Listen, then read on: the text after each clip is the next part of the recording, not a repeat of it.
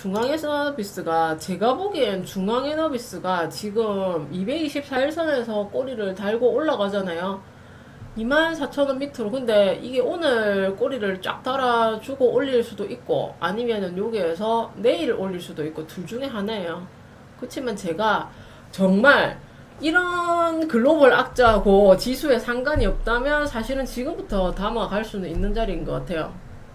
중앙에너비스가 이 자리에서 요거를 유지하고 있다면 요 정도는 아까 23,950원, 900원일 때 이게 꼬리를 달잖아요.